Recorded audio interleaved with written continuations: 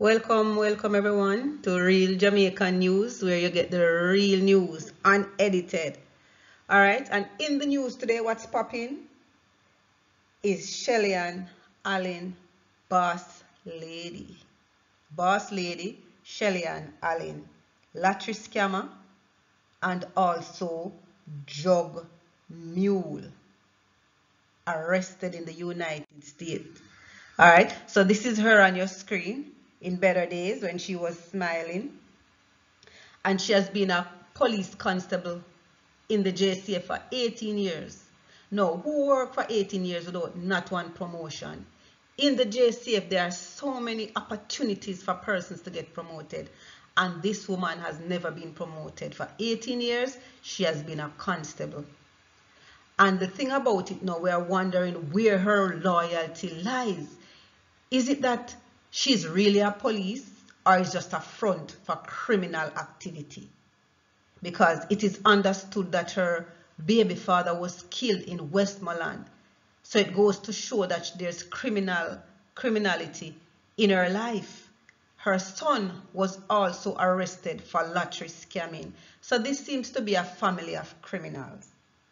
All right, and she's also a drug mule. It is alleged now that she robbed up almost 250 million Jamaican dollars. That's how much she get from the scam allegedly. And she's still carrying up drugs in her system or on her body, which is a small amount compared to what she get from scamming. All right. So something is not right with this scamming network. Either she's just a middleman and then there she has to report to someone else. Because based on what i'm hearing she go around and she recruit people to collect the money in the us in the us of a. And she get those persons to collect the money for her and send it to her. So maybe she's not really getting all of this money for herself. It is alleged now that um, she bought a, a mark x cash no, as a police officer, she can't afford to pay for her Mark X, maybe $60,000, but she'd have to live lean. $60,000 a month would be for car payment, but she'd have to live lean. Now she go and buy it cash, red flag number one. All right, she also buy a house in Trelawny in one of those housing scheme. And it is in her mother's name, it is alleged. All right. So this woman is raking in money, but all of the money is not hers. It is going to somewhere else. So the fact now that she's get caught in the US, it means that she will be calling names and more persons is going to go down. All right. A lot of persons are worried right now. They are fretting because she is going to be calling name.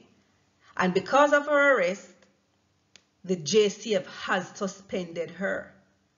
And this is not even her first suspension. She was kicked off the force before. She was kicked off the force before. And on appeal, she got back her job. So there's some kind of corruption in her life that she was kicked out of this force. 18 years in the force and when you were kicked out, they take you back and you didn't change your ways.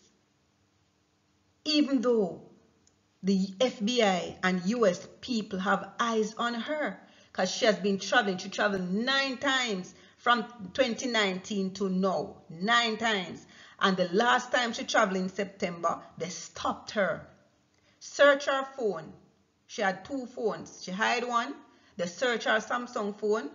Ask her if she had another one. She take out the iPhone and show it to them. Right? And the iPhone was a scamming phone because the number on the iPhone match the number that the witness that was cooperating with the FBI in the US gave her.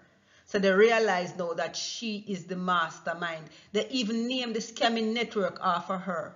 Allen Scamming Network, it is called. All right, after boss lady Shellian Allen.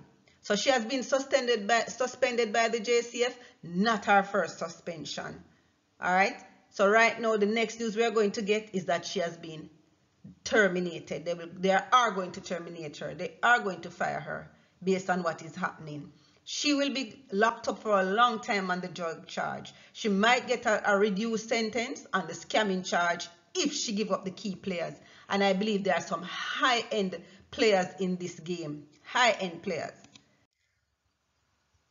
So I've always wondered why persons are still scamming, how they get the money in. And these people, guess how this woman has been getting her money? Through barrels. The last person who sent her money, the person overseas, one of the informant, collect $30,000 on her behalf. The money was sent to the person, male, female, we don't know. The affidavit say he or she. So they're not telling if it's a man or a woman. So the affidavit say he, she. So I'm going to say he, she got the money in a crock pot or slow cooker, what we call it, or rice cooker, one of those cooker $30,000 and the person took 9,000 for themselves and sent the other 21,000 to Shellian in a barrel, in a food barrel that has insurance, soap and all those things that our family overseas would send for us. So they pack the money in those, they probably put it in some flour bag, empty out the flour and put the money in the flour bag or something like that. I don't know how they do it. But the money was shipped in a barrel. And that is how they do it. So they are no longer using Western Union. They are no longer using MoneyGram. They are very, very creative ways of sending the money that they scam to Jamaica. This woman scammed $250 million and end up turn a drug mule. This woman could have retired. But easy come, easy go. The thing with this easy money is that you spend it because when they were looking at her spending, she opened a US account in Florida. She opened a US account and $10,000 was placed in the account. And when they look at how she spent it, she went to Gap, she went to Old Navy, she went to all of these retail outlets and buy all these name brand clothes.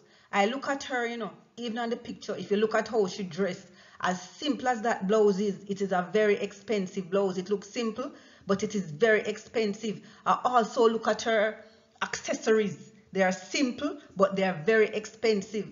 So I, do, I didn't see her as somebody who flaunt the money, but she buy expensive, simple things and hide it.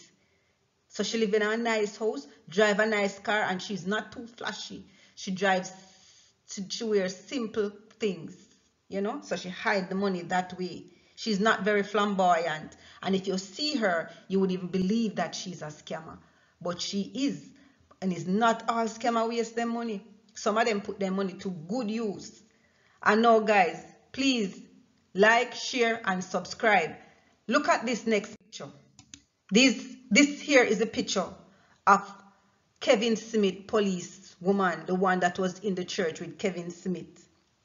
And this one here is Shellian Allen. Comment below if there, there's a resemblance. All right. Remember to like, share, and subscribe for more up-to-date information. Bless, peace out, keep on blooming.